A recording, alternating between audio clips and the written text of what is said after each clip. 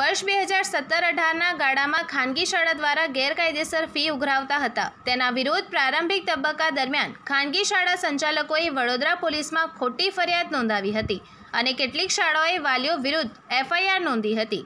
આ તમામ કેસોની સુનાવણી ચાલુ છે. આઈપીસીની કલમ ત્રણસો ત્રેવીસ, પાંચસો ચાર, ચારસો સુડતાળીસ અને એકસો ચૌદ હેઠળ નોંધાયેલા એફઆઈઆરમાં નવરચના સ્કૂલના મેનેજર દ્વારા લેખિત ફરિયાદ નોંધવામાં આવી હતી.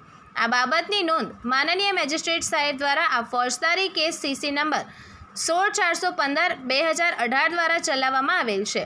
આ ગુનાહિત કેસમાં સમગ્ર સુનાવણી પ્રક્રિયા પૂરી થઈ ગઈ છે અને આ મામલો આજે ચુકાદા માટે શ્રી ડીજે પરમાર અઠ્યાવીસમાં એડિશનલ સિનિયર સિવિલ જજ અને એસી જે બે સાહેબની કોર્ટમાં મુકાયો છે.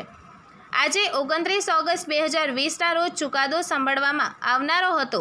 ત્યારે આ કેસમાં ભોગ બનેલા ત્રણ બહેનોનું અને એક પણ પૈસો લીધા વગર કેસની પેરવી કરતા વકીલ જે વડોદરા પેરેન્ટ્સ એસોસિએશનના પ્રમુખ શ્રી કિશોરભાઈ પિલ્લાઈનું શહેરના દિવાળીપુરા કોર્ટની બહાર સન્માન કરવામાં આવ્યું હતું જેમાં પેરેન્ટ્સ એસોસિએશનના અગ્રણીઓ અને સભ્યો હાજર રહ્યા હતા.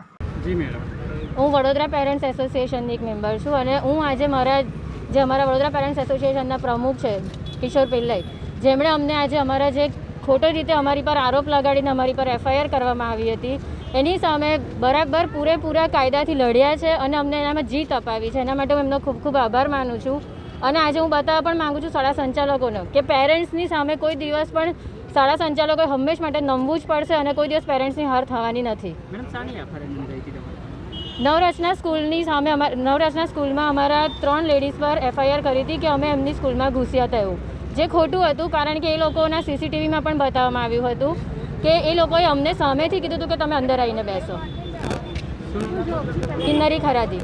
આજનો નવરચના સ્કૂલના આઈટી મેનેજર શ્રી નીરજ પટેલના લખિત ફરિયાદ ઉપર સમા પોલીસે અમારા વાલી મંડળ વડોદરા પેરેન્ટ એસોસિએશનના ત્રણ બહેનો ઉપર આઈપીસી કલમ three twenty three four forty seven five zero four અને એકસો ચૌદ તહેત ગુના દાખલ કરીને નામદાર જ્યુડિશિયલ મેજિસ્ટ્રેટ કોર્ટમાં એના પૂરા મુકદ્દમા ચલાવ્યો આજના તારીખમાં નામદાર જ્યુડિશિયલ મેજિસ્ટ્રેટ કોર્ટમાંથી આ ત્રણો બહેનોને નિર્દોષ ઠરાવવામાં આવ્યા અને પૂરા આરોપમાંથી મુક્ત કરવામાં આવ્યું?